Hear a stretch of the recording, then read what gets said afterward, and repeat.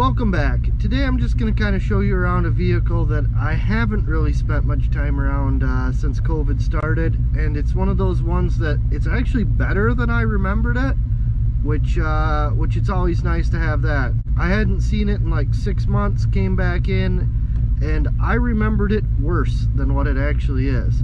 So I'm going to kind of give you a walk around. It definitely does have some problems, but it's not as bad as I remembered. I've also got some video of this thing off-roading, so I'm not sure if I'll make that part of this video or just throw it, uh, or make it its own. Alright, so this is my 1983 Dodge Ramcharger. It does have a 77 or 78 front clip on it. This truck has definitely been wrecked before. Uh, the winch bumper, that's new for basically for this weekend.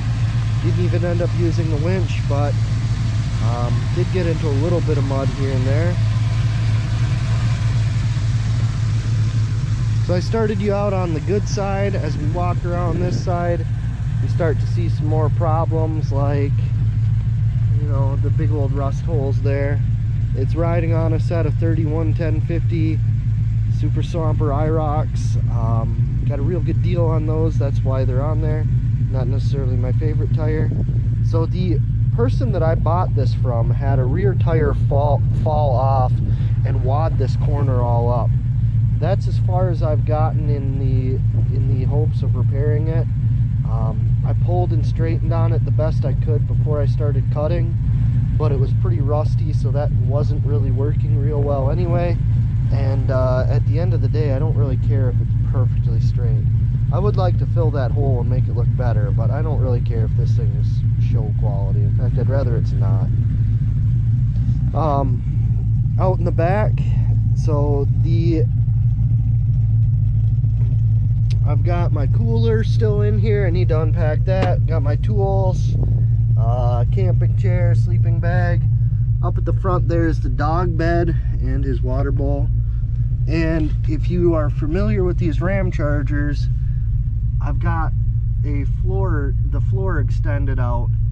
So normally that would drop down into where the uh, back seat footwell is, right about where the the slope of that wheel arch goes down. It just continues straight down into there and goes down to the same level as the front seat. Um, but I've got a piece of plywood basically. I've got some stuff under that too for storage. If I needed it, I could get to it. Luckily, I didn't need it. But basically, the way this works is I pull the cooler out, I pull the toolboxes out, I set the dog bed up on one side, this behemoth here sleeps on one side, I get like a real small area on the other one, and uh, I camp right in this. So when I do that, I slide the passenger seat, or I flip the passenger seat forward like it's an like it's intended to do, and then the driver's seat I just slide forward, and there's pretty much barely enough room for me to do that. Um, I'm not a small person, but this does work. And I don't have it in here right now, but I also have like a shelf unit type of deal that's also a flat front all the way up to those rears uh, all the way up to the rear of the front seats. But it's about yay tall has a drawer that's a full full six feet long on one side and kind of an open cubby on the other. And uh, that one is for like a little bit longer trip.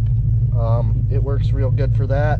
This setup here with just a piece of plywood that works real nice on a shorter trip like I did this weekend uh, got kind of the custom bumper there.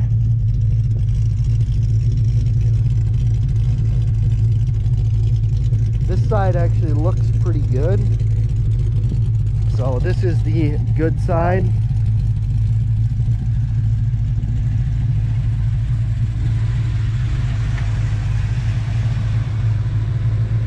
got the 70s hood on it.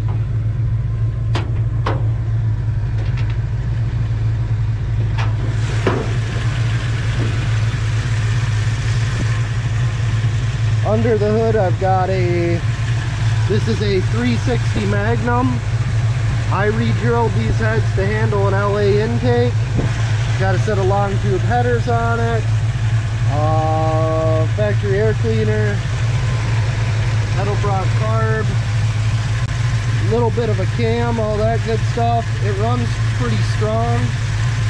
Um, actually, it runs rather strong.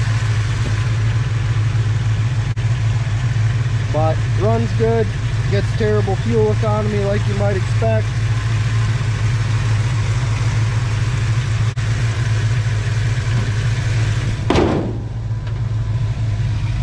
So that's the underhood. Back behind that, it's got a 727 transmission, 208 transfer case, and then 410 gears. So one of the big things that I need to do to this thing is uh, this needs this needs an overdrive transmission. So if you've been watching my channel, that black truck that I decided is too rusty to do anything with, it's gonna donate its transmission for this.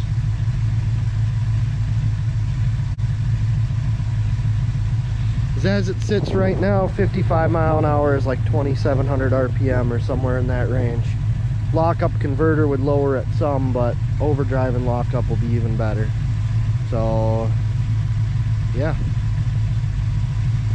it just it did just drive several hundred miles this weekend and do some off-roading. So it's uh it's working pretty good. I'm actually pretty happy with this thing right now. Um, there are a couple little things that I want to take care of like just make things like you can see that grill flapping in the breeze. There's stuff that's just not really finished on it. Um, I've been picking away at it. It was pretty rough when I bought it. It's getting better but it's still not there yet I would like a little bit more lift maybe like two inches of lift just so it has a little bit of little bit more ground clearance. And uh, and will be about perfect. Thanks for watching and I'll see you later